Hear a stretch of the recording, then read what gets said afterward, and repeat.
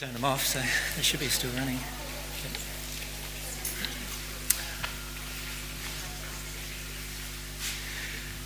And somebody just asked me what was the subject I was going to discuss today.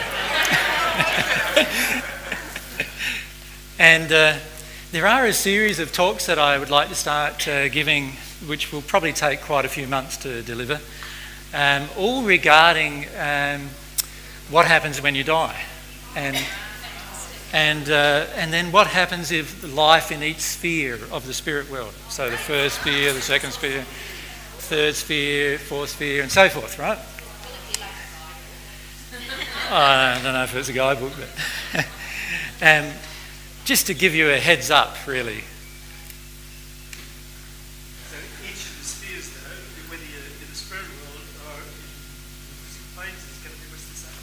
Uh, no, on the physical plane, it's obviously a fair bit different, but um, it'll give you an idea of what kind of truths you normally learn in each sphere of the spirit world compared. See, here on earth, you can learn anything at any time. So you can learn a truth about the 22nd sphere and actually, uh, the 21st sphere, grasp it emotionally just as easily as you can about learning a, an emotion in say, about the seventh sphere or whatever. Well, when I say just as easily, that's probably not the truth, because obviously there are certain emotions that you need to process before you can access others. So, so there's a sort of a sequence involved to them to a degree. But um, the beauty of, uh, of talking to you about it is that we also get to speak with the spirits that are with you about it. Because many of the spirits who come along to these sessions are, have a lot of uh, feelings of um, like they don't know why they are, where they are, and all that kind of stuff. And I would definitely like to help them address some of that as well. So, besides yourself gaining knowledge, it would be helpful. And I think we need some batteries, do we, guys? Okay. Um, yeah, so th- you could call this uh, talk uh, part of a Spirit Life series of talks that I'm going to give. And the first in the sessions, and I, I, don't know if I'm going to cover the subject completely in this session or not, uh, but the first of the session is what happens when you die.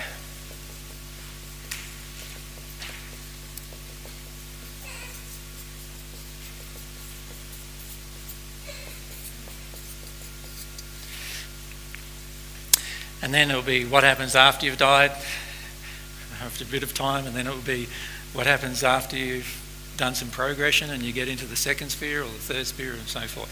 Now, of course, for many of you, if you progress uh, and work through your stuff as we've been talking about over the last couple of years, you'll actually find that what happens when you die is going to be very, very different to what's happened historically when people die. Right? Because because of the soul condition of people on earth, if you raise your condition, and we'll talk about this in a minute, then of course what happens when you pass is going to be very, very different than what it could have been if you hadn't dealt with those groups of emotions. So, what we want to do firstly is remember the basics, and that is here's our soul. What's our soul full of? It's emotions, longings, but let's start using some other things it's full of beliefs, which are all emotional. Right? So we have fears, they're all emotional. Sorry? Attachments, very good, yeah. Emotional attachments we have to other people, other things, life, our life, even like many of you are very attached to your car. You know the proof of that? You wait, you go to a car park and have someone key it along the side, and you'll see how attached you are. Sense? So there's attachments there, emotional attachments. Addictions, okay.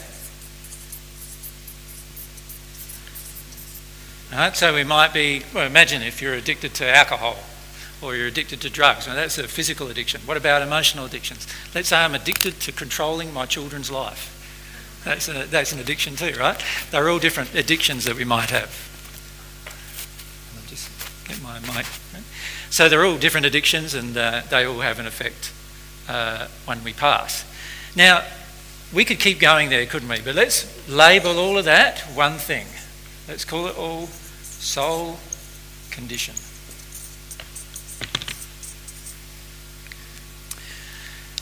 the truth of when you pass, the truth about when you pass is all based on this one thing. And that is, my soul condition determines everything that will happen the moment of my passing.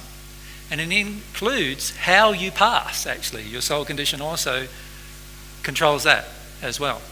It controls how you pass, when you pass, what happens when you're passing, and then what happens after you've passed. So it's, it's everything, really, your soul condition. But you, throughout your life, have had many experiences, right? You've had many friends, haven't you? Some of which have come and some have gone, and some you've had new ones come along. And, and once you met me, you didn't have many new ones come. No, that's not true. you had a lot more new ones come along then, didn't you? A lot of different ones. And, and all of those things add to the experiences of your soul, don't they? Does that make sense? So, so you even have experiences that we could add in here, couldn't you? That is now in your soul. Now, obviously, the experiences that we have are very different depending on how long we live, where we live, and what kind of background and upbringing we've had, and all those kind of things all have a huge influence on our experiences, don't they? And they also, therefore, have a huge influence on our soul condition. Right? So the sum total of all of these things adding together creates the soul condition, and the soul condition generates our own death and what happens after we pass. And when I say generates our own death, I mean that literally. It's our own soul condition that causes our own body to degenerate over a period of time that creates its own death, assuming that we don't have an accident. But if we have an accident, it's our soul condition that attracts those accidents. Everything to do with our soul condition attracts our life, including the process of our passing, if we could call it that. So rather than calling it what happens when you die, we're really referring there, aren't we, to the physical body dying.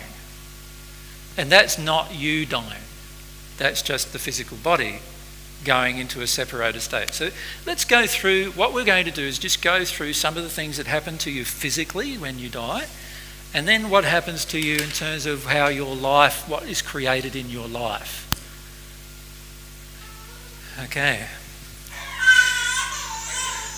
Yeah.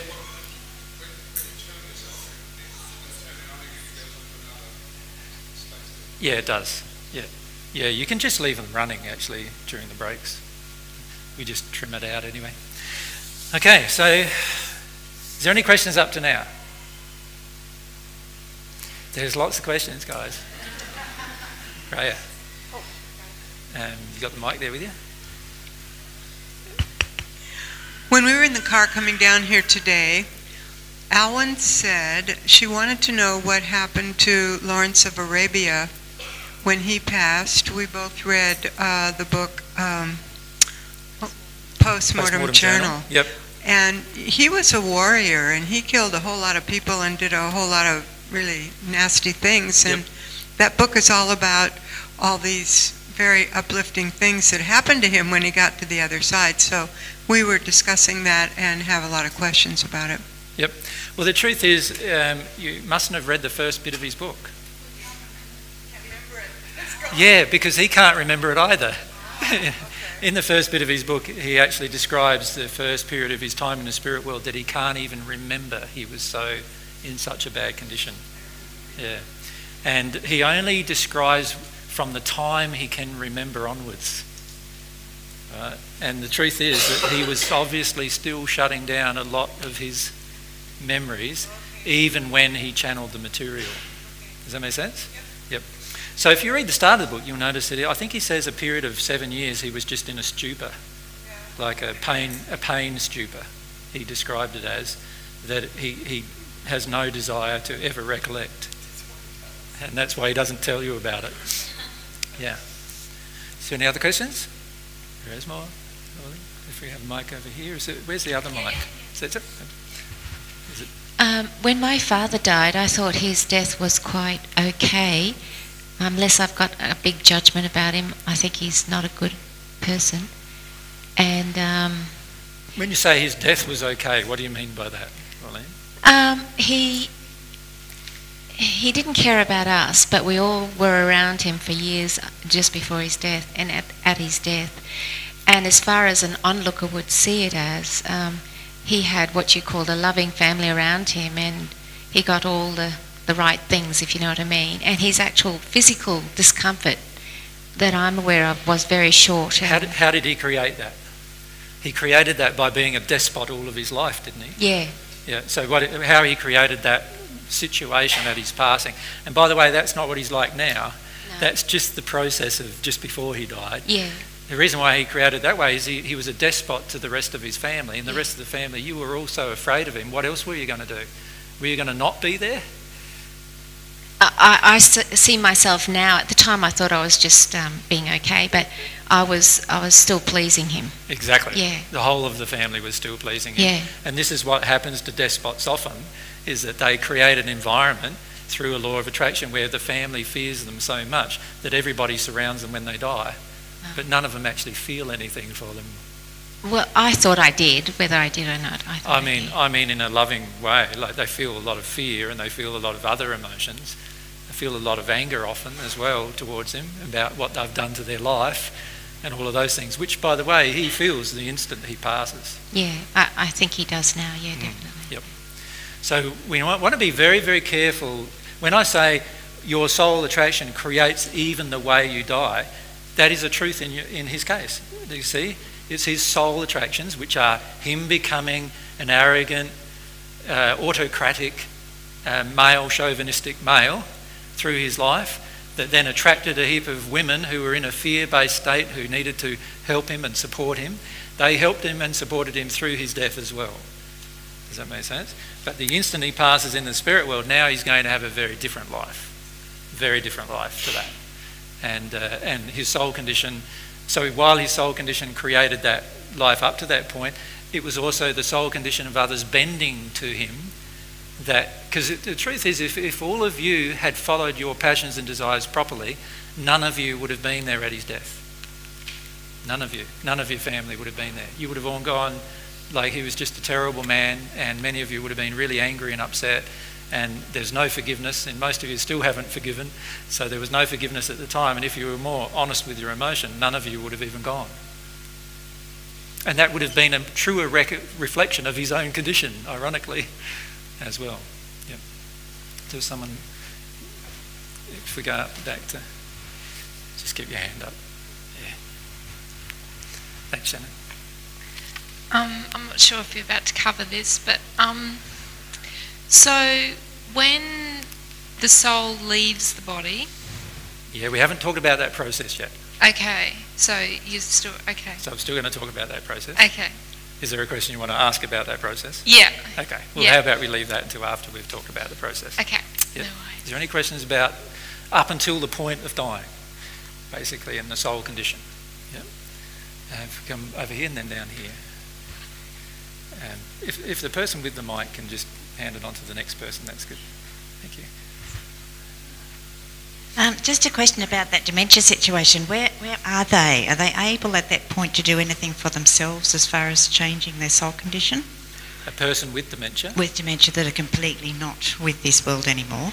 Well, um, the They- truth the truth is, for a lot of them, they are already a lot in their sleep state, so they're already experiencing a lot of their sleep life. But they're also most of them are very afraid of death, and so so because of their fear of death, they create a long life on earth where other people need to support them and care for them because they're just terrified of passing. Right? Just as if, just like they, what created their condition, their terror of feeling their own emotions created their condition of dementia. And because of that terror, they often live many years, some of them long lives after they get dementia. And, uh, and that's a sad reflection of our, firstly, our denial of emotion as a human race, but secondly, our fear of death. Because a lot of them, if they had less fear of death, that state wouldn't last anywhere near as long. So they could still be helped by celestial spirits or uh, by our prayers? um, Very to- difficult uh, to help a person with dementia, even in the spirit world, because of the depth of their fear and their depth of their uh, fear of facing their own personal truth. So, so a person with dementia uh, faces a lot of obstacles when they pass uh, because of their fears that they have obtained through their life. Does that make sense? Yeah. And we'll talk about specific cases as to what happens to them uh, once we've had a bit of an overview of what happens generally. Because every case when you pass is very, very different because obviously the soul condition is very different. And so every case of passing will be very different as well. Thanks. Yep. Hi, AJ. My son passed over on the 4th of January of this year. Yep. Um, What was his age? You might He just turned 21. 21. In his sleep, um, they had to do an autopsy because there's no idea why he died. He just sort of passed without any peacefully. Yeah. Um, and without any seeming like problem. no, no problems. Very Yeah. healthy. He was um, slightly intellectually handicapped, Yeah. uh, disabled. Um, loving person. That's why I'm confused about the soul condition. Yeah. Well, firstly, you're looking at death as a problem, whereas I don't look at it as a problem. Uh, there are many beautiful experiences that happen uh, during the process of passing. I I'd suggest to you your son being partially handicapped would have probably would probably much prefer his life in the spirit world than he would prefer it on earth. And I've had that channel to me. Yeah. too. And, and as a result of that, um, events happen through his desire. So his soul condition, remember, part of his soul condition is his emotions and, and desires. And, uh, and what I feel happened to him was that he did not come back to his body when the body awoke. So what happens uh, in that case is if your body attempts to awake and you don't come back to it during the process of awaking, you will automatically pass. Do you follow me? And, and this, uh, there is actually allusions to it in the Padgett messages, for those of you who have read the Padgett messages.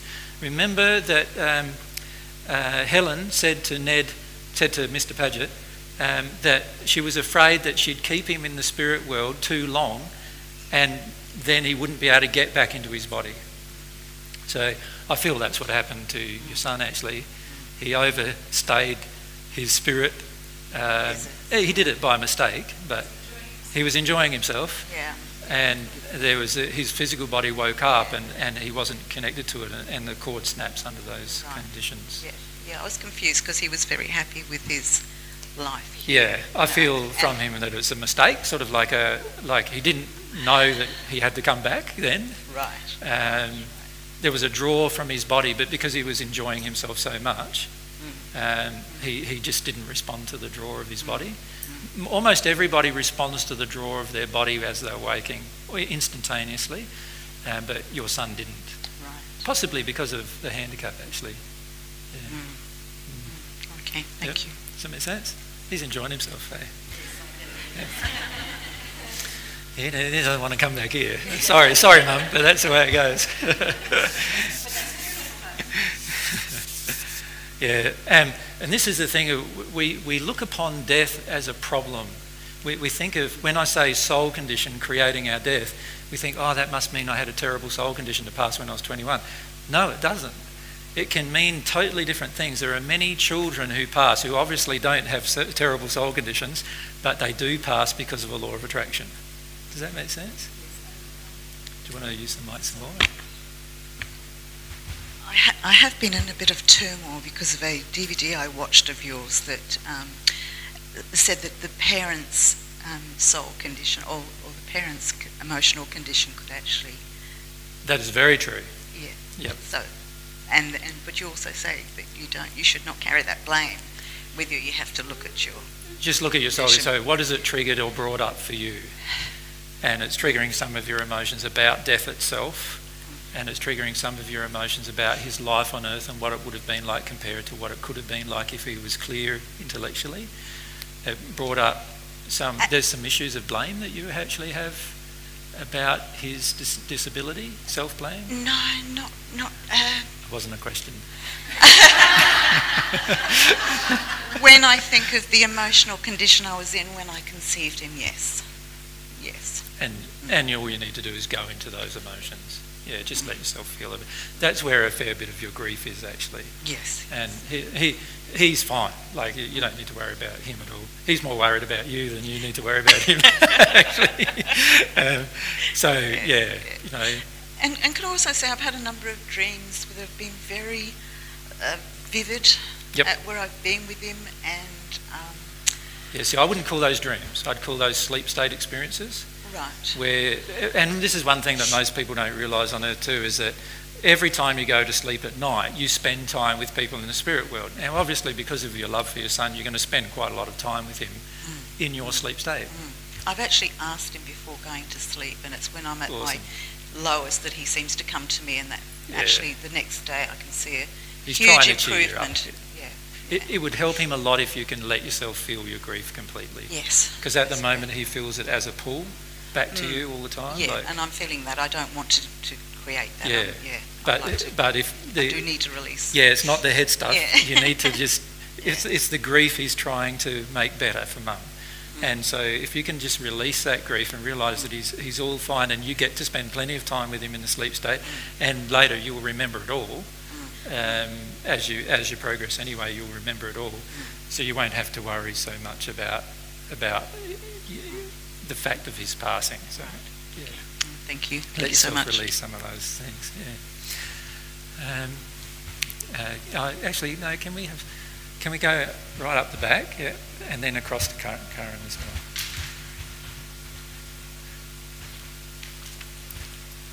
How is it that some spirits don't realise that they've actually passed when they get there?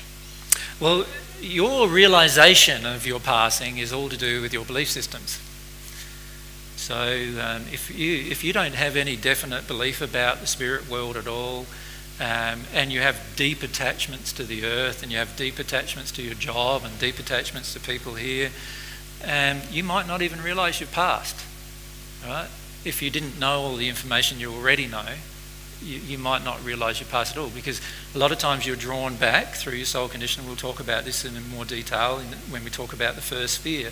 But you're drawn back through your condition to people on earth and you're walking around. So you'd be like you now. This is what it feels like. Often you, you have the dress that you prefer to wear or the garb you prefer, prefer to wear on because that's what your garb is, a reflection of what you desire. And you're walking around going up to people and going to talk to them and, and none of them will even see you. And you go like you go like this and what's going what's wrong with all of them? All of everyone's in a stupor. Like nobody can see me anymore and there's a lot of confusion based emotions. And that is because of our belief systems before we pass.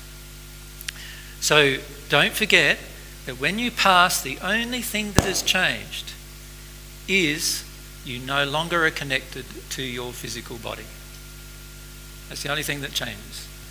You are now connected to your spirit body. You, see, you feel, when I say now connected, you always have been, but now all of your sight and all of your hearing and all of your sensory apparatus all work through your spirit body.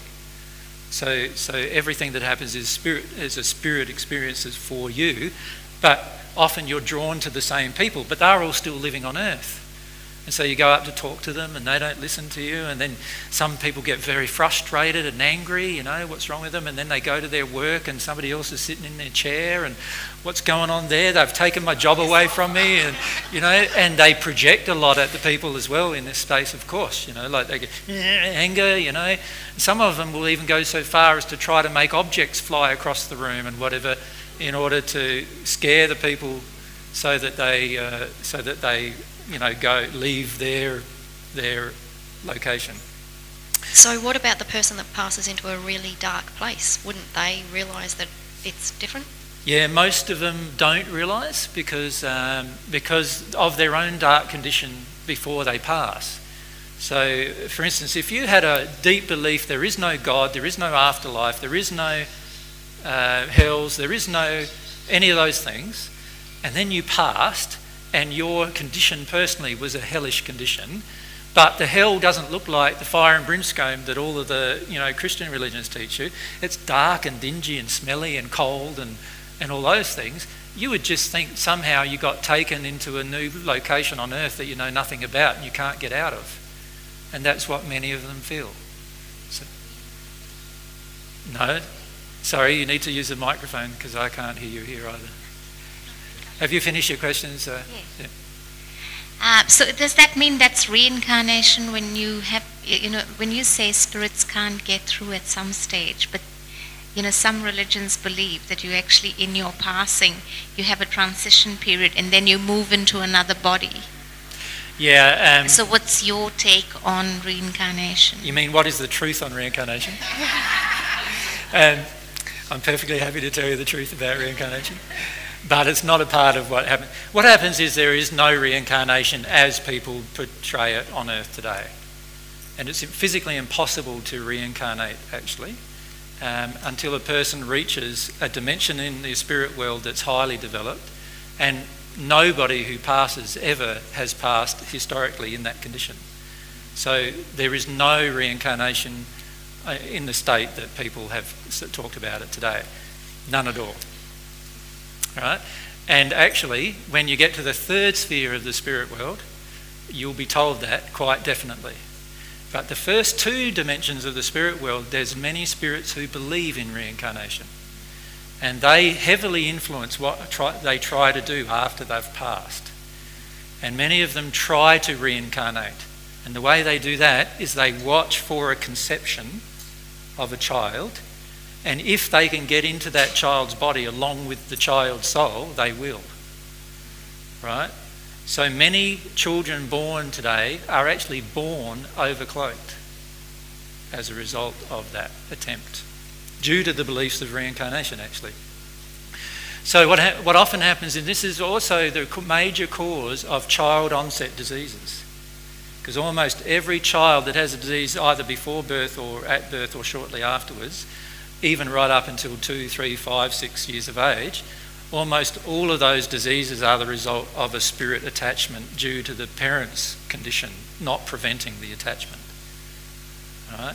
So that child will often act like a person who has passed because they are actually being overcloaked by that spirit. Uh, and that then people then think that supports the whole view of reincarnation. Does that make sense? Oh, he seems to be like my grandpa, whatever the truth is that majority of the time, grandpa is overcloaking him and actually determining a lot of what he does. And I've had many experiences with this uh, and that I've told you about in the past with, with children with leukemia and things like that. And uh, many of uh, children, most children with leukemia actually pass due to spirits overcloaking them and creating their cancers. Because um, the spirits themselves had cancer when they passed. Yeah, so most child onset diseases are like that.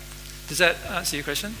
It was very brief. There is a whole discussion I've said about reincarnation, which you can listen to, which tells you the truth of reincarnation as it, as it really occurs. Um, and I think it's a four hour discussion actually that I've had on the subject. Yeah, you can download that from the net. Karen? My question's about death and dementia, but if you'd rather move on, that's okay. Far away. Um, just that um, my mum was one of eight girls and three boys, and she's very demented. Um, like she can't put words together really, and there was a lot of anger for a while, which was due to two of her sisters that had died, who were expressing their anger through her. Though they weren't demented, but the most recent sister that died had been demented for a long time. And what happened to mum almost at the time she died, which was the other side of the world, she just went really sleepy, and the nurses thought she was going to die for about three days. And then she woke up again, and I thought, well, maybe she's just hanging out in the spirit world with her sisters. But what, what happened? A person who has dementia will often cycle in and out of the spirit world. Though they might occasionally wake up, and you've, you, this is why it happens over a period of time generally, where you start seeing it onset the person's really quite out of body at different times because they can't connect to their brain and they're so used to doing that. And your mum, obviously, heavily suppressing her emotions all of her life, uh, closing, which closes down areas of the brain, which then means that um, she can no longer use them. When she can no longer use them, there's a tendency then to get out of her body so she can have experiences in the spirit world. And you'll often feel the soul and the spirit body of the person sort of going away and then coming back and then going away when you're with them. Some of you who are doctors will actually feel that process occurring quite frequently. And, um, and what happens generally is they can easily be, their bodies can easily be overtaken in that state as well by other spirits, usually family based spirits, but often there is whole interplays of spirit against spirit through the body as well. So you have two spirits fighting with each other through the body and things like that. Um, this is why a lot of dementia patients get quite violent at times. And then you have others who go very docile, you know, although that's rarer. Um, but, but often uh, spirits heavily influence their state from that time on. You asking specifically about what's happening with your mum? No, just just that sleepiness for three days, which correlated to the death, but it might Yep. just be what was happening, like. Yeah, a lot of times what happens when a person's in dementia and another one of their siblings passes, is that what happened here? So when a person's in dementia and one of their siblings pass, there's a lot of spirit world discussion, you know, going on, and they'll often leave their body and come back. But but your mum, uh, in, in deep fear, uh, or it wasn't your mum in this case, was it? It was another sister who Um, experienced this. Yeah, the sister, the demented sister died, and my mum got very, very sleepy for a few And days. she's got dementia too, hasn't she? Very, Yeah. yeah. So, so what? Yeah, what happened? I would say in this case is they met in the spirit world, right? Had a lot of discussions and everything, and and perhaps I think her sister felt a bit like um, that it wasn't such a scary thing passing as what she imagined it to be, and there was a discussion with your mum about that. Um, but your mum's terror caused her to want to come back to the body anyway. Yeah, yeah. So, and your mum's quite terrified of death, like. I think she's going to live for years in her dementia. so, Yeah, how, how, she hasn't passed yet, has she? no, I No. think she's going to She's around. terrified of passing. Yeah. I just, Yep. she'd rather stay in this dementia for as Mm. long as she can. I agree. Yeah, just have it, sit down with her and have a talk to her about not needing to be afraid of passing. When I think she's in her sleep state, Yeah, when you feel like she might be with you, is she in a sleep state? She's now here in Australia? yes. Um, yeah, so sit down with her. You'll feel when she's not really present in her body. She's in a sleep state then. Okay. Call her to you and talk to her right. about not needing to be afraid, because the, the death-based experience is is like it would give her a bit more freedom actually. Yeah. Um, and although she's not she's not happy about where she would go, this is part of her problem. She's not happy about where she'll arrive in the spirit world. So, so you know that in your sleep state, your sleep state is exactly where you would arrive in your spirit. It's world not exactly where you arrive, but you get you, you finish up in your sleep state watching other people who are in the same condition as yourself Okay. and seeing their bodies, and after a while you start getting a bit freaked because Okay. you, you have a tendency then look at your own in your own in a mirror and see your own body and go, "Whoa, that's a bit dark." You know, well you don't go like that. You just go, you're freaked out about your own appearance. Uh, and you get very frightened, and you go, "Well, where am I going to go then?" I saw those other people; they went where am I going to go? And you get very afraid of all of that as well. And your mum, what would help your mum a lot is is knowing how to progress in the sleep, in the sleep state. And if you can talk to her about how to progress, that'll reduce her fear about her state. The truth is, she's not she's not darkening her condition on earth by staying, but she's not helping it either because she's not growing either. I thought she was helping herself in the sleep state, but that was just me wanting to believe that. Yeah, I, I feel she's uh, most people. Most people with dementia have huge amounts of resistance to death because of their fear about their emotions. And, and when they look at themselves in the mirror, they can see those emotions influencing their spirit body, and they become so afraid of that. And then they watch where other people with those same spirit bodies go, and you know after they get all that information, they don't want to die at all. So they just stay in this dementia state for as long as possible. And often they have other spirits keeping them alive in that place, keeping them alive because that's their will. They want to stay alive. So other spirits then just hook into that, keep them alive, keep them alive, use their body to express their rage and so forth. And that's why you get a lot of violence with dementia patients. Yep. Yeah.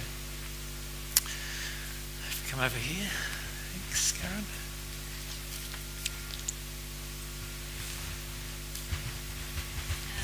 was that a spirit talking to me? Because just lately I, I, I had this feeling I like to ask all my friends, my family, what happened, what happened when they die. I never did that before, and all of a sudden I felt, I don't. Well, one of the reasons why I'm having this talk is because a lot of the spirits that come along to these talks don't have any idea about why they are where they are. Yeah. They've got no idea at all. And, and many of them are in darkness, you know, they don't understand why. Some of them are not in darkness, but they just don't understand why they didn't arrive with Jesus in the, you know, in the heavens and all those kind of things. They have a lot of mm. questions about all of those things, you see. So that's why I wanted to discuss this subject and Yeah. a series of subjects as a result. Yeah, because just a month ago I started to ask everybody. It just came to me to ask people, and I get so many different answers. It's quite amazing, and so many people just feel it's finished, especially my family. Yeah. It's nothing. It's just complete finished. Yeah, well, for Um, those, many of them can't come back to the earth because they don't even have the energy to do so Yeah, and they're in fairly dark locations in the spirit world. So we'll talk about all of that Mm. as part of the process here. Is there any more questions about the condition? Sue, just down the front here if we can. I've wanted to ask for quite a long time. I wake up of a morning feeling very anxious, quite often fearful and sad, Mhm. and I've wondered for a long time if that's because of my soul condition. Um, I feel for yourself it's a combination of factors. One is that uh, many of us have to walk through uh, a number of dark spirits to get back to our body. And uh, that process every morning is quite frightening. Um, particularly if you imagine you have hundreds of dark spirits around your body waiting for you to come back into your body. Um, there will often be quite a lot of fear associated with that. But it also can be about your recollection of your own sleep state experiences. Some of the sleep state experiences, and many of you are now having quite good sleep state experiences, right? Uh, many of you are not aware of this, but you are having quite good sleep state experiences. And, uh, and the contrast between the sleep state experience and the awake state experience is so great that sometimes you don't want to come back home to your body and you feel like a bit afraid about stepping back into your daily routine on earth because of what's happening in the spirit world. Um, so the key with all of these things is to, when you wake up, feel your fear, let yourself connect with what it's about, and process that. Just release that. You'll get to a point where you enjoy your life here as much as you would enjoy your life in the spirit world. And uh, and in fact, when you're at one with God, you've it's like a seamless world. Like your sleep state experience and your wake state experiences are mem- remembered in in in, in a, as a continuous flow. In other words, you don't. It's not like as soon as you go to sleep, it's not like you know how at the moment many of us go to sleep and we pass out, and when we wake up, we remember we had a dream or two, but we don't remember much else. Well, you'll remember everything. So you remember floating away from your body, and you go up to there's a, this area of the spirit world, which is like uh, at the moment condition-wise, it's like first sphere condition, and and that's the sleep state experience where people can come and visit you. You can go and visit people. You can check out things on the other side of the world. You can do all sorts of things, right?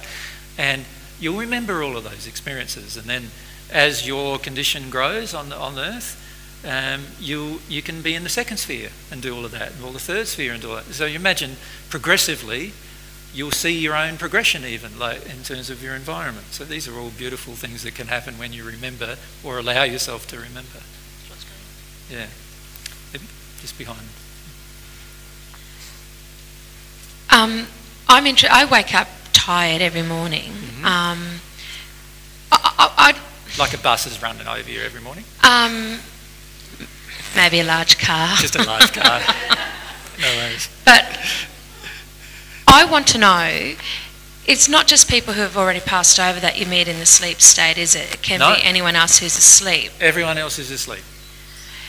I'm kind of wanting some proof. you know what I mean? Like I'm thinking, why don't I come back with some lovely? So why don't, why don't you get some proof? Okay. The way you get some proof is set your intention before you go to sleep to give yourself some proof about the whole process and, uh, and see what happens. But many of you have already had the experience when you meet somebody, you feel you've already met them before and you definitely haven't, right? Well, you definitely have because you met them in your sleep state. Right? So many of you think, oh, I've got to go here, right? And you go there and all of a sudden you meet someone who you think you know, but you don't.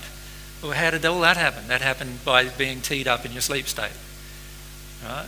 And a lot of your life is actually dictated to by decisions you make in your sleep state. So, So presumably you'd be following your desires when you're in your sleep state, so you could yes. meet up with someone that you might be interested in meeting up with. Yes. Yeah. Many of you commit adultery in your sleep state. I'm serious. Yeah. I was wondering about that. Yeah.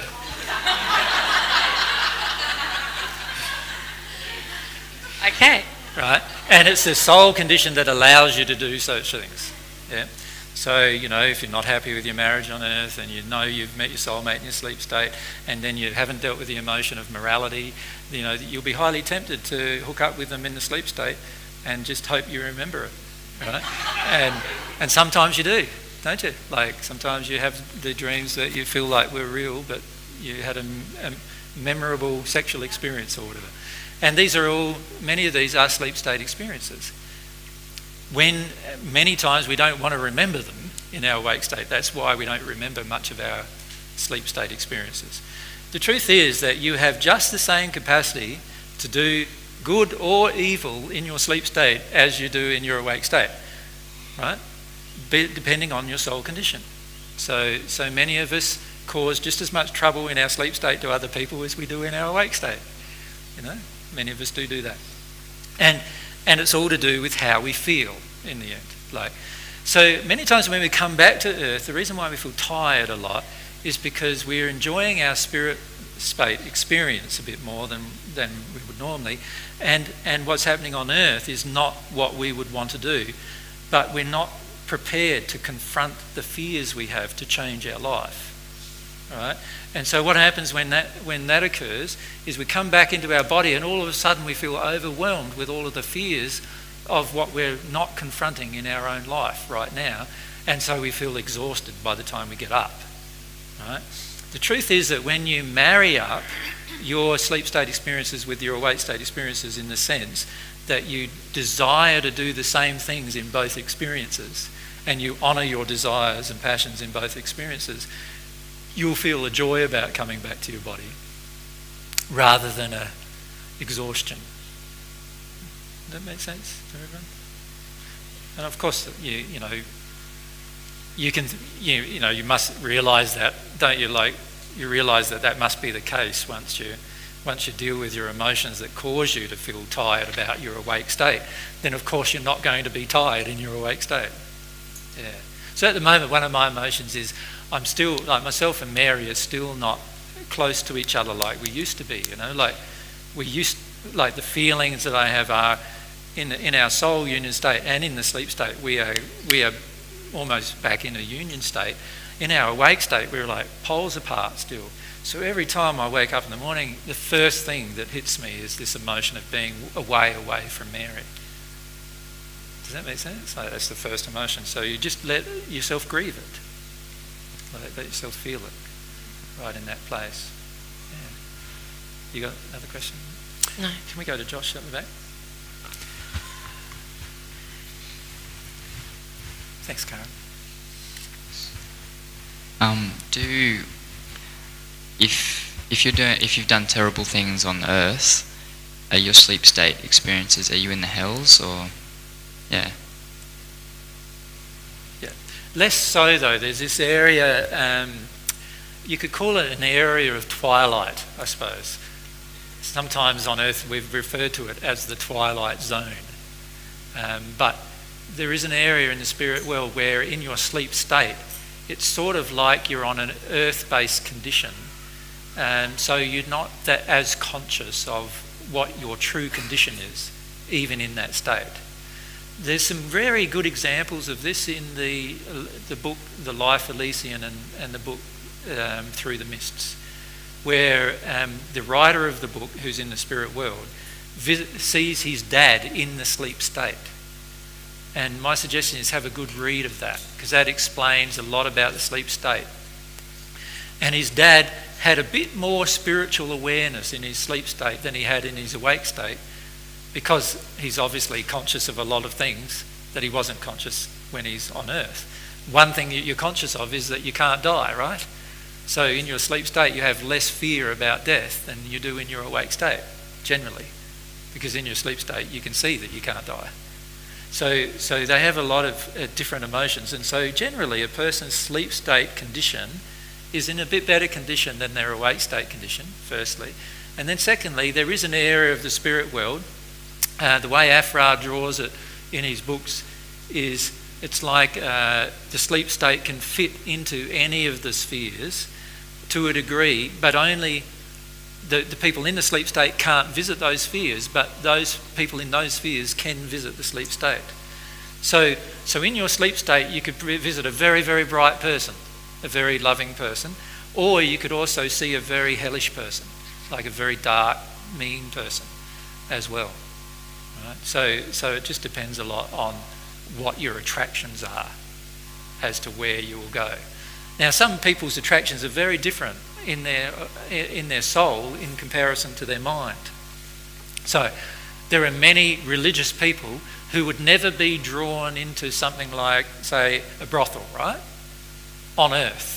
But in their sleep state, they are drawn into those things because of their emotions. Does that make sense? So, so many times that actually happens as well. So our sleep state experience is not quite the same as our earth based experience because of what we allow ourselves to do and also what awarenesses and knowledge we have in that state compared to what awarenesses and knowledge we have in our awake state. Do, um, also, do the memories of my sleep state that I have now, um, if I pass right now, uh, do they, do the those places that I'm hanging out, are they, do I not go there anymore? Well, no, what happens uh, with your memories is, is very much like I've described from an emotional perspective. When you desire to emotionally remember things, you will remember things when you pass. So, so what that means is that um, if you have a desire when you pass, or you don't even have an awareness of anything that's happened to you, what will happen is, uh, in the sleep state I'm talking about, what will happen is there will be a series of events that occurred leading you to the point of recollection. Uh, this is also described in the book Through the Mists, if you want to read that book. Um, there's a, Aphraar goes through this series of, of events which lead him to different recollections, which eventually lead him to his mother. He believed that he was not with his mother, his, mother had died, I think, 40 years earlier, at, at his birth. And he believed that he'd never seen her. But the moment that he met her, all of these memories of his sleep state experiences came to him of all the times that he'd spent with her in the sleep state, and even what her name was in the sleep state, and his name, and so they, you know they knew everything automatically. So um, the truth is, when you have when you pass over into your spirit life, you will get to a point eventually of a point of connection to a memory. Now, all of you have this happening to a lesser degree here on earth already.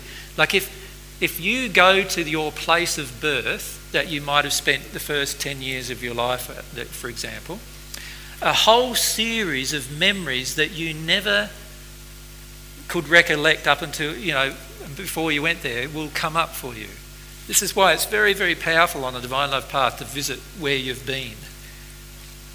Because they are entry points of your memories that allow you to process emotions. So, for example, if you lived in a very traumatic time in England, like 35, 40 years ago, just after the war, well, 50 years ago, just after the war, and you were brought up in a certain type of environment and you are not yet connecting with those emotions, and you can't even remember the events, my suggestion would be to go back to England if you can afford to do it and go and visit those locations and feel like there'll be, a, there'll be connection points. And this is what happens in the spirit world when you pass more and more connection points happen. And some, for some people, it happens very rapidly. For some people, it happens over thousands of years um, because of the darkness of their own condition. Um, but the more brighter your condition, the more rapidly it occurs. The more knowledge you have of it, the more rapidly it occurs. So for Aphraar, it occurred within the first few weeks of his passing. He started, you know, he, he through his desire, he did a lot of different things and was led home to his mum. And when he met his mum, all of these other things came to him as a result. And that just happened in the first few weeks of his passing. But it doesn't happen like that for everyone. Yeah. Karen? It's another sleep state question, or do you rather go on to the dying? Um, no, I'm happy to answer them. Um, uh, quite, not infrequently, um, I feel like go through some stuff in the awake state and I don't feel much better. And then, like, I wake up the next morning feeling a whole lot better.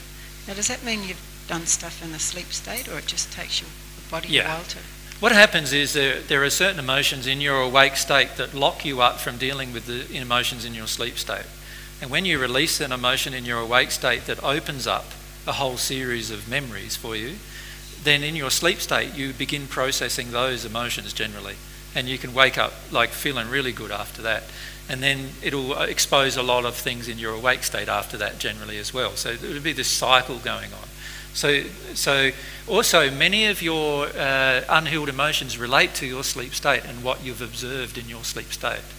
So, for example, if you if you've observed, um, and I've said this frequently before, if you've observed your partner committing adultery in the sleep state, then it'll be one of the emotions when you get on the divine love path that you'll work your way through in the sleep state. Right? And eventually an awareness of it will come to you in your awake state, if, if it hasn't already done so. The other thing that happens all the time to me is that at two or three or four in the morning is when I can think so clearly. It's like you just wake up and everything's very obvious. Is it? Yeah, a lot of people will have their spirit guides waking them up at around from anywhere between two and four o'clock generally. that's what it feels like? Uh, many of that, many of you are having this happen. Um, that is the time when you're the most able to be impressed upon with regard to your emotional condition and emotions that you're suppressing. Um, and so, because you're the most relaxed, you've done some REM sleep and you're now into deep sleep generally. And during that phase, spirits have, if they wake you up in that phase, they have the ability to, divine love spirits have the ability to feed you a lot of your emotional injury and conditions, but also to communicate with you better. Yeah. And so they often will do so at those hours. Yep. We come down and then down. Just on that one, is that why you often have the most vivid dreams after that time? Like I often wake up between that time and then doze off again, and that's when I probably have the most vivid dreams. Many of you are already setting your soul intention to do to have dreams that that um, demonstrate to you what you're not dealing with in your awake state. And yes, after that period of time, generally they can wake you up, go sleep, wake you up, keep you in that phase where you can dream. And when you dream, that exposes, if you allow it to, the stuff that you're not dealing with in your awake state. So it's a very powerful way of working through whole groups of emotions that you're denying in your awake state. I had this experience um, a few years ago when I'd parted with someone and I never really um, expressed some stuff to them, and I and it just became this really huge desire in me to say these things to them. They were nice things, and it went on for quite a long time. And then I had this dream, and we met. I said everything I had to say, and thanked him and everything, and then that was it. I never felt the desire again. It just it just went. It was very vivid and really great. Yeah. Yeah. What happened there was you met up with them in the sleep state, said the things you needed to say. Now that you've satisfied yourself, there was no longer the impetus to do it in your awake state. And my feelings are, though, you could allow yourself to deal with the reasons why you didn't do it in your awake state. You I had no contact with him. I didn't know where he was Didn't or know where anything. they were. No. Spot yeah. on. So often that- that attracts things in the sleep state. Yep. Ryan, thank you. There's a lot of spirits influencing this question. Um, but when we have near-death experiences, we go to this, into this. A lot of us, anyway, go into this amazingly loving space, and there's a mob of them around who are really confused, who've done that, who are really confused about where they are now. Right. Yep. And very good question, and, and it's very important I answer this for the spirit's sake as well. When you're in the in a near-death experience, what happens is you go out of body, and generally, because because it's at the time of your potential passing, lots of very high spirits surround you in this particular state. And when I say lots, there can be spirits from anywhere from the second sphere to the celestial spheres surrounding you, but often there is a lot of celestial spirits in the, involved in the process of anybody's passing.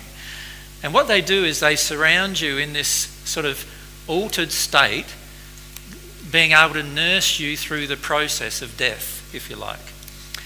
Now, many people then come back to the earth, back into their body, and assume that that demonstrates their true condition, which is not a valid assumption. Because what, in that place, what you've had is literally sometimes tens, if not, if not more, people surrounding you, protecting you in the place of your passing. And the reason why it's done, it's a loving thing that's done. Every time any person passes, they are surrounded by spirits who will assist them through the process of transition from their earth life to the spirit life. Now, that process of transition often goes through an intermediary phase, which we'll talk about during the course of these discussions. And the intermediary phase is like, you could think of it like almost like a hospital, where, where, where it's sort of in a fairly uh, lovely grounds, fairly pretty place, prettier than Earth, you know, top of the first sphere condition, which is prettier than Earth, paradisaic type of condition, and, uh, and then because of the feelings of euphoria that the person who's about to pass has, they then assume that that is a reflection of their own condition. But it is not. It is a temporary place that it happens to every single person where it's possible to happen, and there are times when it's not, where spirits are assisting them in the process of the, trans, the transition between death from, of the, from the earth and life in the spirit world. And, uh, and so we can't assume that just because we've had a lovely experience in our near death experience, that our actual condition will bring us or attract us to the same location when we actually do pass. And there are many spirits who have, who have had near death ex- experiences on earth and then made the assumption that they would pass into the same place that they had the experiences with, and that is a gross misrepresentation of, the, of what actually happens to them. What happens when they do pass, as we'll explain in a minute uh, if we get there today, um, is that they, they, um, their soul condition attracts them to their true location after a period of transition. So let me ask them, Brian, if you can answer these questions. Did all of them experience a period of transition where they had a, a few days where they felt like they were in an okay place, a bit like a hospital type thing, or, or or did they instantly go to a darker place that, they, that their soul drew, drew them to? Um, most of them had a sort of the, the sort of experience that you described lovely gardens, even nice people, everything's a lot brighter, yep. everything's a lot more compassionate, even. Exactly. And then when they started to see their condition in the mirror, what happened then? Freak out. Yeah. So they looked at. Oh their... goodness! Shocking. Oh. Yeah, that's it. Very. Yeah. Yeah. So what Very happens? scary, actually. So if you imagine, if you look, if you are not aware, but you are actually deformed, like your whole body, your face, everything looks deformed, which is a mirror of your soul condition in this, in this, depending on what your condition is. But for most people, when they pass, their body is quite deformed, right? It looks older than hundred years old, their spirit body, uh, for most people, and worse than that for most people, right? When they pass. And I'm talking, when I say most people, I'm talking like 99.9% of the population passes in this condition, right?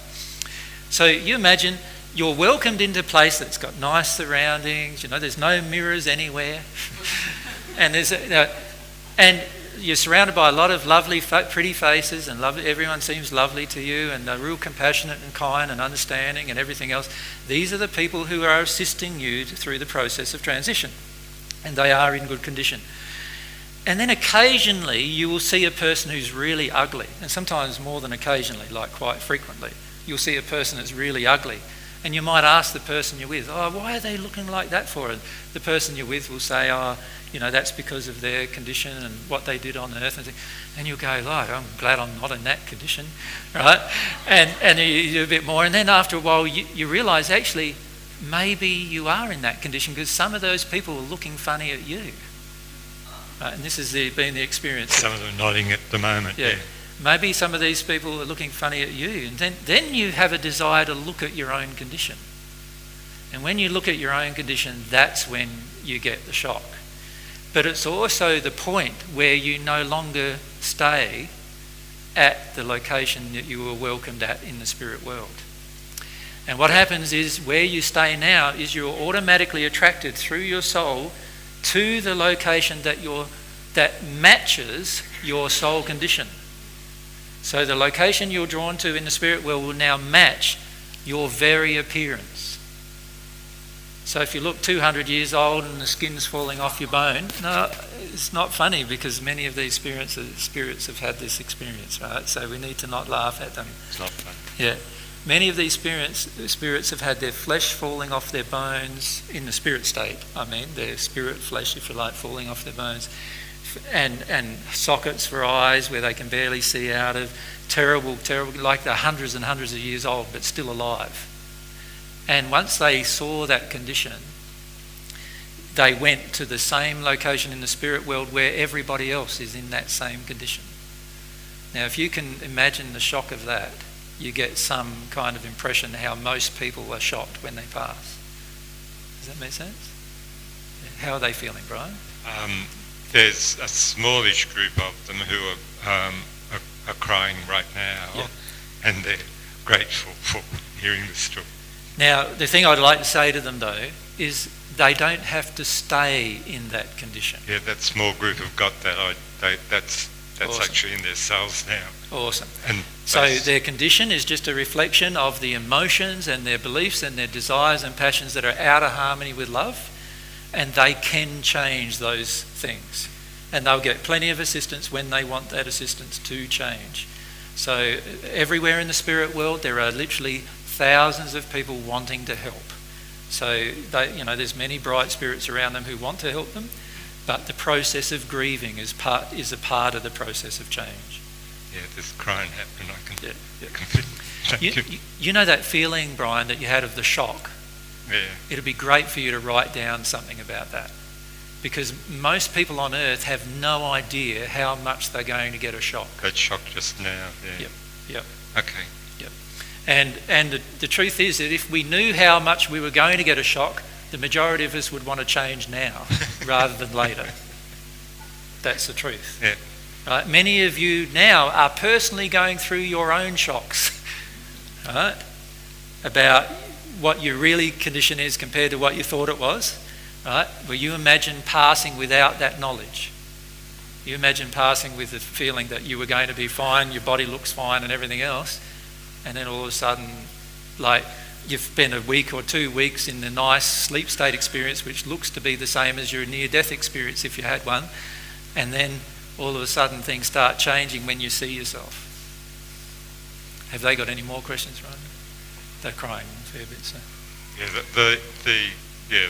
They also they also feel that they can help some of the others now too. Yeah, yeah. Yeah, the key is to realize for all of us is to realize that our condition is not as we judge it, but rather God's laws judge our condition. And God's laws don't change. Right? And this is something that we need to really bear in mind.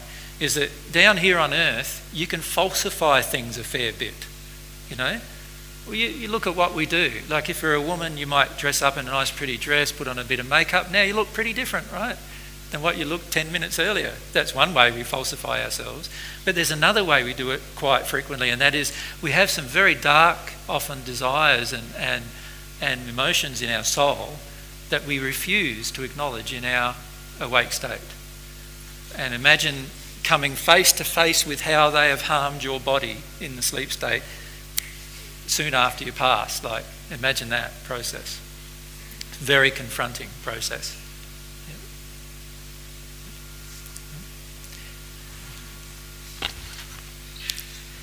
Whenever I come here, I always feel very shy to sort of even have contact with you, eye contact or say hello or anything, because what I, what I want to know is, what I feel is you're seeing this really ugly, all my emotions like that, you're seeing that.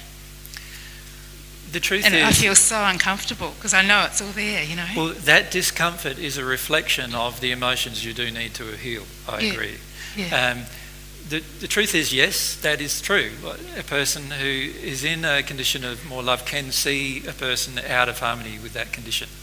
So, and you'll be able to see that in others too as you progress in, in love. Um, but a person in a condition of love does not judge it. Mm. And this is why many of you feel free to share about your life stories and your condition with me, because you can feel that I don't judge that condition or story. Mm. Does that make sense? And it's the same in the spirit world. The reason why these people, when they passed, were a bit shocked at where they ended up eventually was because when they were in the first place of reception, everyone was treating them nicely because everyone there was loving. Do you follow me? So because everyone is loving, everyone could treat them nicely, and so so they they felt that lack of judgment. They felt no judgment from them, and it was only when they actually want to see their own condition that they get immediately drawn to the place where they belong. So when you stand up there, you must have a very ugly view. You know, I mean, because we've. I don't have a judgment You don't. because I don't feel that you're ugly. Right. Do, do you understand? No. Well, well, how could I feel you're ugly when I can also see your pristine soul and what that feels like to me and, and your potentiality? And how can I actually feel you're ugly when I know that all of these emotions that are in you, most of them are caused by other people? And your choices that were out of harmony with love were also caused by other people's influence. So how could I feel? Do, do you see? Like, so I don't feel, yeah, I don't feel judgmental about it at all. Um, and and how could I how could I feel judgmental when I myself have actually been in your condition? Like you know, like I said to you before I began this, in, in this life, I have been in the health in, in that condition. If I had passed at that time, I would have passed in quite a dark space and quite ugly as well. So you know, how can you judge then another person for being in that condition? Yeah. Hmm. See? We just have a mic over here. Thanks, Brian.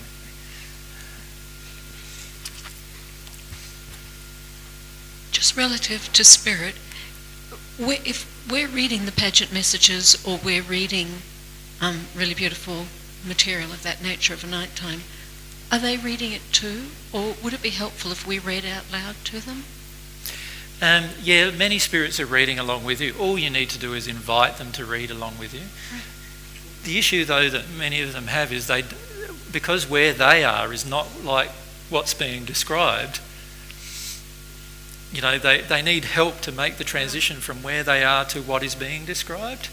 And, and, and it's not sufficient just to say to a person, go to the light, as like a lot of New Age people do say. It's, it's more, you, you'll notice if you listen to the recordings that I have posted on the internet where I have spoke through mediums to spirits, you'll notice that I always try to connect with their emotional condition and what's going on with them emotionally and why they're in a certain condition they're in. And I always try to leave them with some positive things about what they can do about that condition. So, what I try to do is help them make the transition between where they are now and where they could be if they desire to be. And, and many of them don't even have the desire to be there. And what I try to do then is give them, try to help them have the desire to be there. You know, encourage them to have the desire to be there. Because it's, and this is the this is the problem with a lot of mediumship on the earth. A lot of mediumship on the earth is so self-focused that we're asking the spirits to give us information, and many of the spirits who are trying to give us information actually are in a worse condition or just as bad condition as we ourselves are, and so it's really pointless trying to get information from them. And when you know a truth about something in the spirit world that you firmly believe in, you can have a powerful effect on their life and how they can progress, and then they can assist you in that progression. So, um, yeah, my feelings are, you know, try to help, try to feel where they are now, and help them come to this place where they want to at least try to get into a better condition, wherever their condition is. So, if sometimes some of you will be surrounded through your law of attraction, let's say you've been abused, abused uh, sexually as a child and you're a medium. Well, some of you will be surrounded by men who have abused women on earth, right? Now, the loving thing to do would be to help those men, and this is a part of our own process of working through our emotions, helping those men get into a better condition in the spirit world.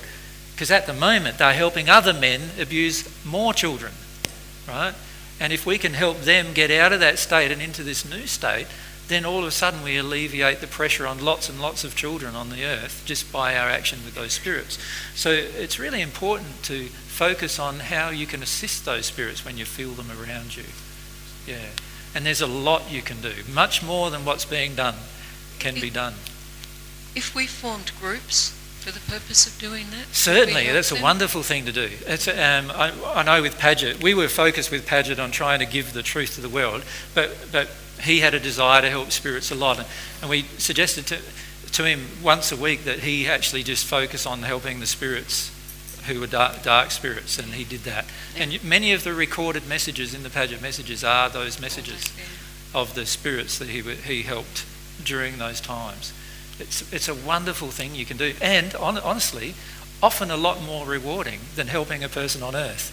The reason why is that many of the spirits do have a desire to progress by the time they come to you. And so it's a lot easier to help a person who has a desire to progress than it is to help a person who's really resistive. That's awesome. So Thank it's you. very powerful, yeah. So I'd suggest any of you who are mediums to really consider doing that on a regular basis. The issue you face, though, is don't get hooked on it. Because if you get hooked on it, you won't progress yourself. And if you don't progress yourself, you won't be able to help more people.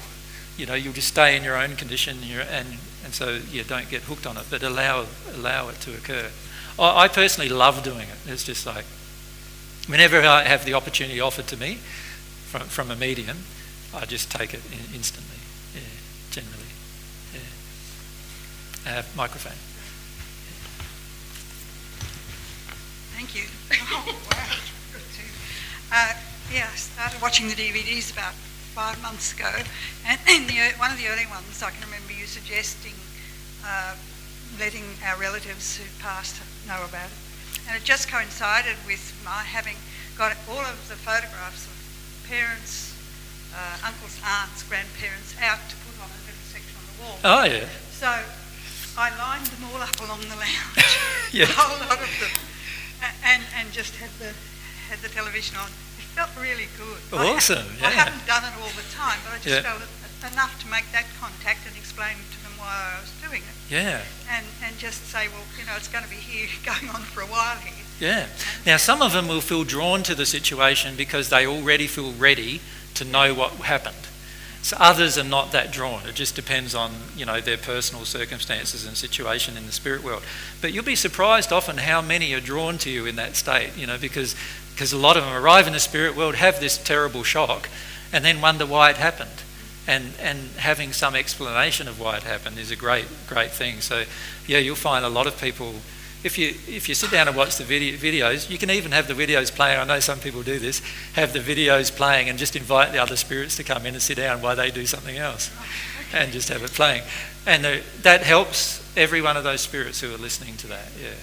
Yes, I didn't feel it's too much attachment to whether they were too interested or not. I let them do it. Awesome. Yeah. That's wonderful.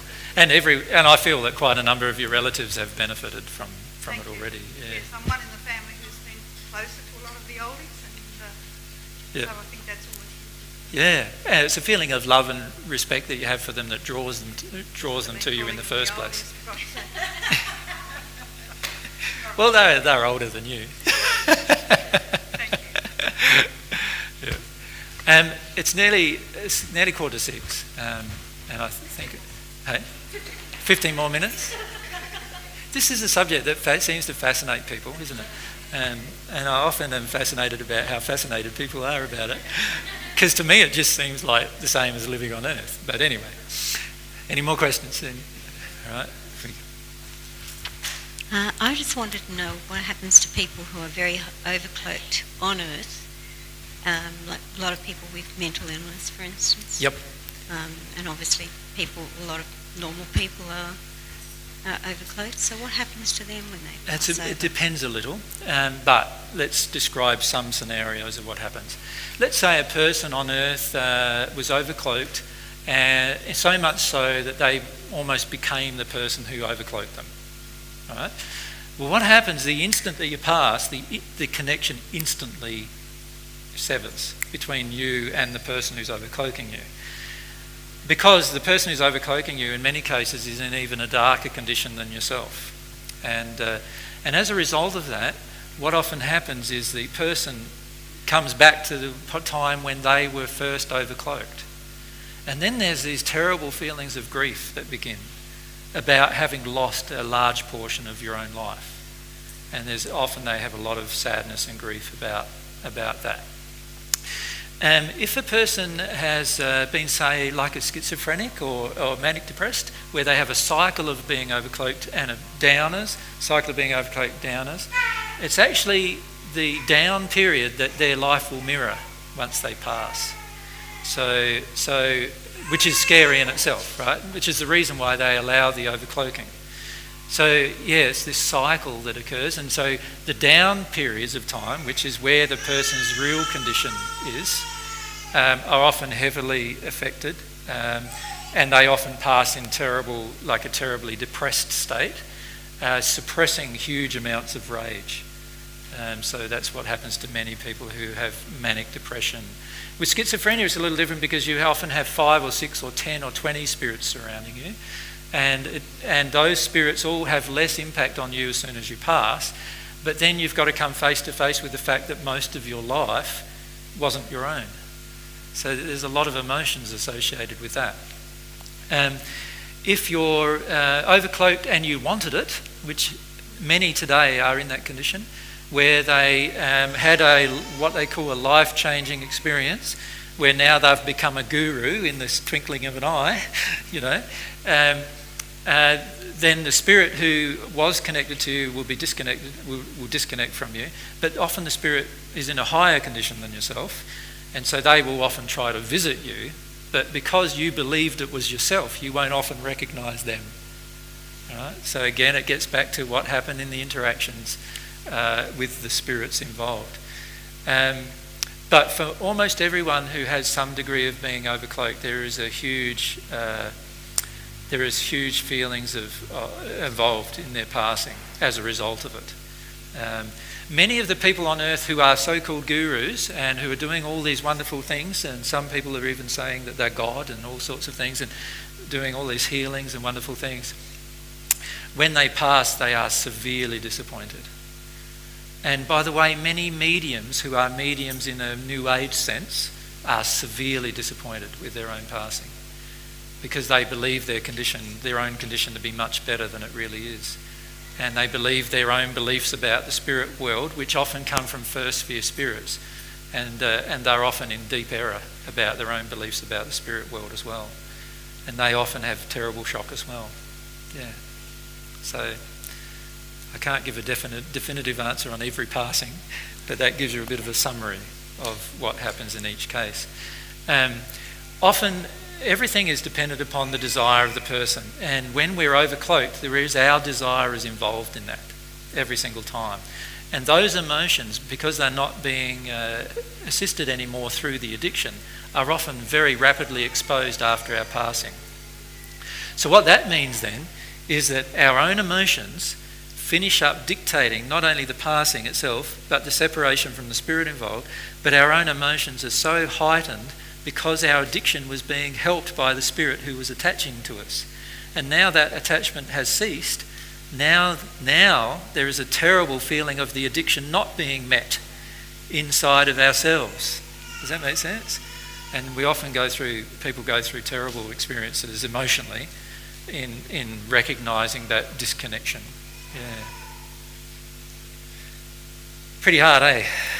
You can see why a lot of people are afraid of dying because in reality they have a lot to be afraid of in some ways. Um, not, not that it's real, the fear, but there are a lot of very painful experiences that await them when they pass. And it's what people call hell. You know, there is a reason why the religions believe in a hell, and that is because there is hellish conditions in the spirit world where the majority of people on earth do pass into. And, and unfortunately have to work their way through. Now, some work their way through it very rapidly, Others spend many thousands of years, and some have even spent tens of thousands of years in the hills, Um, if you can imagine that. Yeah. It's hard to imagine.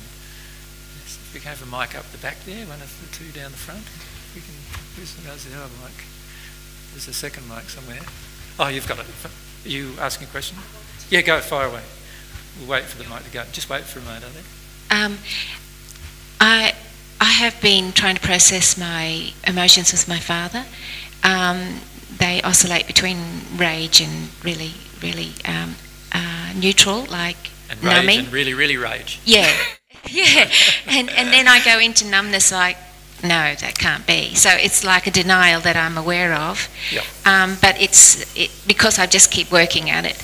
Now, what I have is the question is if I'm if I can do things in my sleep state that are negative as well as positive, um, because I'm not getting through my emotions with my father and I'm angry, so that's a denial. When I go into a sleep state, do I, unbeknownst to me in my wake state, go there and give him hell? Do I do that? Well, you're already doing it in your wake state, so it's highly likely you'll do it in your sleep state. Because when you say you're in a rage with him in your awake state, you are giving him hell, as the saying goes, Yeah. in that state. You see, here's you, it doesn't matter whether on earth or in the sleep state, here's you, here's your dad, right? And, and what happens is every time you interact with him at the moment, what he's feeling from your soul is your rage, right? So there's just rage. Now, him at the moment wants to defend that, you know, so he just gets in a rage back, you know. Doesn't help any of you, right, really do anything about it, but that's what he feels. He, he wants to rage to you and you want to rage to him, but nothing really changes in that state. And yes, highly likely you'll do that in your sleep state because you're doing it in your awake state. So, my suggestion is to go further into the grief relating to dad and the fear relating to dad than the rage. Yes, I, I have been trying to go to the grief. I know. Um, and it sometimes goes there, but then it comes out. And um, so, Can I suggest, though, you want, and this applies to many of you who are in rages with other people, you want to stay in the rage? Because in your rage, you can punish them and you want to punish them. And in your rage, you can blame them and you want to blame them. And in your rage, you want to make them suffer and you can make them suffer. That's the whole point. Now, what we need to do is give up those desires, and when we give up those desires, we'll give up the rage. Does that make sense to everyone? When we give up the rage, we can now enter the fear and the sadness that's within ourselves, and ironically, that's the thing that's going to actually affect them more. That's when they probably will get into some form of repentance about what they've done. They're not going to get into a state of repentance while you're raging with them. Do you ever get into a state of repentance when somebody rages at you? What do you do most of the time when someone rages at you? Rage back many times, isn't it? So, how can you expect someone in a darker condition to yourself that caused your pain to actually do anything different other than rage back? Can you see? So, what we need to do instead is relinquish the desires. Every one of these desires has an emotion attached to it. So, if I want to punish someone, why do I want There's an emotion aside. Uh, do I want to blame them? There's an emotion in that. Do I want to make them suffer? There's an emotion in me in that. And I need to release those emotions, and then my rage will dissipate. Could you just go to take one, let's say punish? What is the emotion related to punish then? Well, it's different for every person, isn't it? Because it depends what's been done to you by that person as to why you want to punish them. Does that make sense? So if that person had, uh, if that person had only stolen your house, yeah. then you might want to do a totally different thing to them compared to if they had actually uh, sexually abused you as a child. Can you see the Ah, difference? I see. So, so my desire to punish them will be based on different emotions, based on what they have personally done to me. Did you see that? Yes, so but how do I get past that? Because when I'm actually doing things to try and process it, um, I keep going back and repeating the same thing, trying to get out of it. So all you need to do is feel what that person did to you, right? But now feel it inside of you instead of as a rage. So, in other words, feel it as grief or terror rather than as a rage. Yeah, I, I try to do that. But what no, am no, I not? No, I'm, I'm not. saying okay. if you have to try to do that, Yeah. you need to focus on these emotions because, because once those emotions dissipate, you won't need to try to do it. It will automatically happen. Does that make sense to everyone? It's like, like while I'm holding on to the desire to punish someone, do I want to give up my rage? No. While I'm holding on to my desire to blame someone, do I want to give up my rage? No. While I'm holding my desire to make them suffer, do I want to give up my sadness? No. Because if I give up my sadness, then I won't feel like making them suffer anymore. And I feel like they deserve to suffer for what they did. And I feel like they should suffer. Do you know what I mean? So we need to give up these emotions, and then the rage will dissipate. And then, ironically, we'll get to our own grief, which is what we need to do to heal ourselves. That make sense, Lordy? Yeah. Um, there was someone up the back. Yeah, there we go. Thanks, AJ. When somebody passes into the spirit world, or I in this case pass into the spirit world, will I then get to meet, in this case, my father, who I've never known, and my mother as well, but my father never saw me, like after I was born? Can I, can I suggest to you, your Yeah. father's already passed, hasn't he? I don't know. Don't know. I feel he has. But, Yeah, I feel so too, but I don't know. um, can I suggest to you that you've been meeting him ever since he's passed in the sleep state? And what will come to you is a recollection of those events. Does that make sense? Thank you, yeah, because I felt maybe my mother had passed when I was 11 weeks, and maybe when he passed, she may have pointed him out, me out to him, so Stop, he's stop talking. Sorry. Stop talking. Feel your emotions. Yeah, I'm- you just about had an emotion. I, I know, I know. It was, it was just Yeah, there. Your, what your father was doing then, and I just want to say that to you, is what your father was doing then was confirming to you that he does talk to you when you go to sleep. And, and you don't let yourself grieve this now. Like, just let yourself grieve that. Isn't it wonderful? Isn't it wonderful that he does that? Thank you. Yeah. So let yourself feel that. That's fine to feel that. Okay, if we can bring a mic down to Linda, isn't it? There's one coming down, Linda. Sadness, isn't that grief? Um, yeah, I, I call it grief because uh, oftentimes we feel grief is deeper than sadness. Like, if you can imagine for a moment, a lot of people say, Oh, I feel sad, and they're not crying at all, right? Right? Well, all I'm saying is that when you really feel sad, you'll be grieving, just like a person who's, who's just grieving a loved one dying often grieves. So you'll be wailing when you grieve. And I often use the word grief to indicate the difference in the emotional intensity of what we need to feel. But yes, I believe that's sadness. Yeah, it's the same, same emotion. Yeah. Any other questions? It's, it's quarter of an hour goes pretty quick, guys. Hello. How are you doing? Okay. Just hold Um, the mic up a bit closer. That's it. I was just wondering when you were talking before about, um, like being in a state where you can see, really see people and their soul condition. Um, what do you see? Like, is it kind of colors, or like, is it our spirit body or our spirit attachments, or what do you see? No, for me, it's more um, at the moment. What I'm seeing is just feeling you.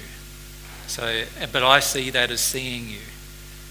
Um, it's very hard Yeah. to explain I- to most people. I but the picture of your face in your sleep state comes to me after I feel you. Do, do you understand? Like, No. no? Okay. Um, we've got some people staying with us at the moment who are just doing some work around our, our house because we never get there to do any. and uh, and um, the the lady the lady who who's there, um, her name's Katrina. She's just started developing the sight, being able to see people's spirit bodies. So what she does is she, she sits a person down opposite to her and she looks at them, right? And she sort of allows her eyes to blur away from the person and all of a sudden their spirit body comes into focus, right? And then she describes the spirit body that she sees. right? Now that is a totally different process to what, to what I'm doing, but I'm saying that you can do that. Every person here can do that. So you just kind of stand there and you can feel what all of us are projecting at you, like all our different. Yeah, yeah. Is it just what we're projecting at you in particular because you're like, No. or is it everything? Yeah. And every, everything you're projecting at other people, and Okay. and also as a result of that, a lot of your memories, um, like the reasons why you're projecting it as well. So often when I stand in front of a person, the feeling you can feel all of the memories that are in them that created the state they're in. Does that make sense?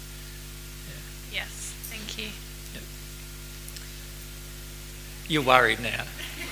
I, I guess like that. Truthfully, that's sort of why I asked the question because I'm not sure what what I look like. I suppose. Yeah. Or what you see me as. Yeah. So I, was, I suppose that's where it came from. What I'm trying to do in these talks is help every person become more self reflective. Because the more self reflective you become, the less you'll need somebody else to tell you what's wrong or right with you. Does that make sense? So, one of the best gifts I can ever give you is to empower yourself to see yourself truly. Now, part of that, part of that is telling you the truth about the world in the spirit world and the world and how different emotions and different morality choices that we make affect our soul condition and telling you the truth of that. Does that make sense?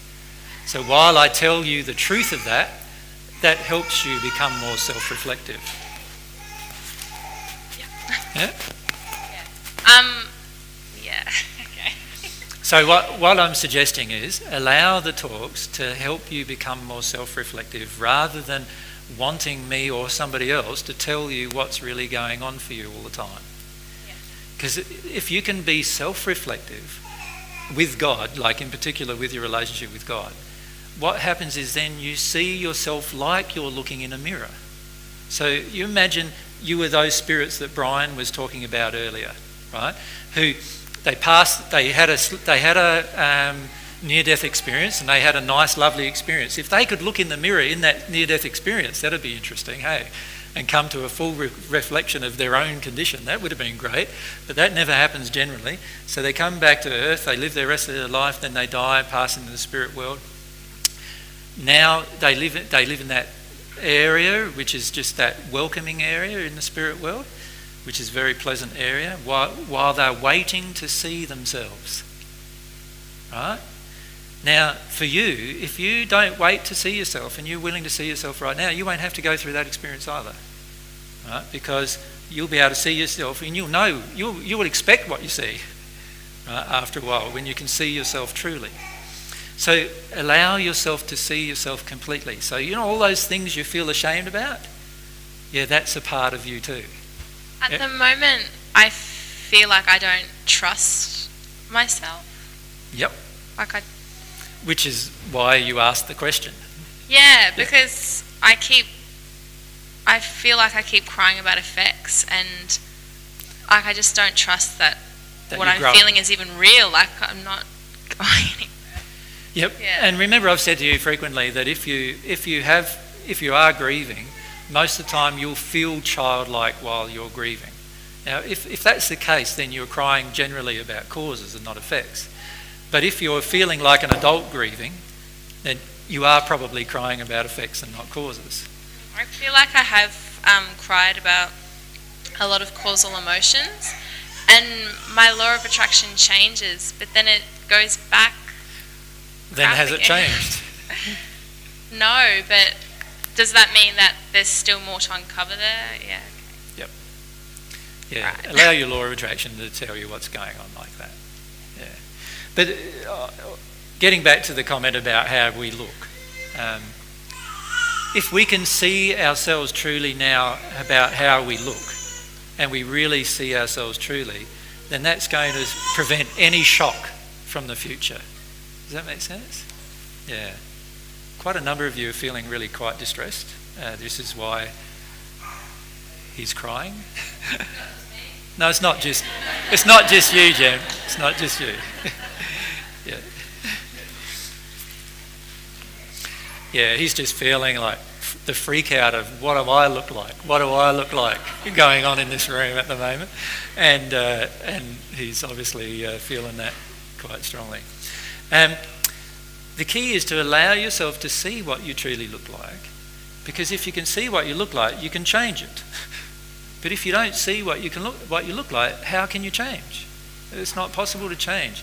And this is why, like, when I have these discussions about uh, saying to you your true condition on certain issues, some of you get really upset and angry and frustrated with me and so forth. But actually, if you could see it as a gift to see what you look like, because I, I'm not judging it, I don't feel bad about it. Like, I still feel like giving you a hug after I tell you, don't I? So I, I don't feel like you're terrible, right? But it is something that we need to address if we want to get closer to God and we want to get closer to each other and we want to and get closer to our soulmate. We want to address all of these different things, right? So allow yourself to see yourself as you truly are. When you pass into the spirit world, that will be forced upon you. So, isn't it better to do it voluntarily now than waiting until it's forced upon you? Wouldn't that be better? Yeah. I'm going to ask a question. Uh, you need to use the microphone. Thank you, Rachel. So, when you actually are in hell's at earth and you go through your feelings on earth here while you're in that situation, Mm-hmm. You don't have to risk that you end up in the hells in, in anymore. No, that's right. Okay. And this is why I'm make, having this discussion with you, is because many of you have the prospect of not even passing into the first seven spheres of the spirit world. You, you pass into the eighth sphere or, or greater of the spirit world. You have that prospect. And you never have to go through this whole process of what it looks like in the hells and what it looks like in the second sphere and what it looks like. You can visit them, right? And check them out, but you don't have to live there, yeah. yeah. Right? So it's better to, to, but many of you will be severely impressed with the second sphere. You know what I mean? Like, but, but this is part of the problem when we pass too, is we get to a place that we're happy with. And oh, everything's breezy at that point, and we don't, and because, and this is where your desire for God needs to be so strong that no matter how happy you are where you are, that you actually still have a desire for God pulling you further towards Him. Does that make sense? Yeah, all the time in the Padgett messages, your desire for God is what's going to pull you through the entire process, right? And if you don't do it, if you just do it because you're afraid of what you look like, then you'll get to the second sphere and you'll walk around with a good body, you know, like you'll even maybe strip half of it off to show the others, you know, like, and you know, like a beach person would do, and and feel pretty good about yourself, but but you'll stagnate in that place, not realizing the bliss and happiness that is ahead of that place. If you if you don't have that longing for God driving you in your choices and decisions, so if you have a longing for God driving you now, what will happen is that uh, that longing that you've developed now inside of yourself will just increase, increase, increase, increase. And by the time you pass, you'll not only pass into a good state, but on top of that, you'll have a burning desire to keep progressing, right? And you'll do that without fear. But if you decide to do it for some other reason, like you want your, your face to look nice when you pass, uh, rather than any other reason, then what will probably happen is your face might look better after you do with some of the motions, and you might pass into the second sphere or something like that and you might feel quite content with that location because that location is certainly a better location than what's here on earth but but you won't experience the bliss that I'm describing to you that comes from the other conditions above that condition so if we can allow ourselves to, to, to uh, focus on our relationship with God will draw, drawing us through these conditions. Now, I'll finish now because it's after six now. Um, what we'll do is I'll have more discussions about spirit life. Uh, I want to spend quite a bit of time on the first sphere and the hells in the first sphere, uh, just for the sake of many of the spirits that are with us, uh, around us, and also for the sake of you helping other people uh, in the spirit world as well, uh, because there are literally billions of spirits in those places in the spirit world. And we want to talk about how they influence us and all those kind of things and why they do it and have some compassion for them. Many of you, when you're told that you're being overcloaked by a spirit, you get just nasty with the spirit. um, that's not having compassion for them. You know, the Spirit's only doing what you want them to do uh, in the sense of your soul wants them to do. So allow yourself to feel some compassion, and, and it's knowledge that in the end gives us a lot of compassion. You know, when you see what's really going on, you get a lot of uh, feelings of compassion for others. So the next discussion we have will be more about the actual passing process, like what actually physically occurs to your bodies, and then we'll talk about that process of your first point of arrival in the spirit world that most people go through, uh, where they don't yet see their own condition, and what happens in that place where they don't yet see their condition. And uh, today. Thank you again for your time, guys. Thank you. And, uh, and thank you for your questions, many of which were, were uh, motivated by some spirits. So thank, I'd like to thank those spirits for attending and for their questions as well, which were very interesting. We love you guys. Catch you later.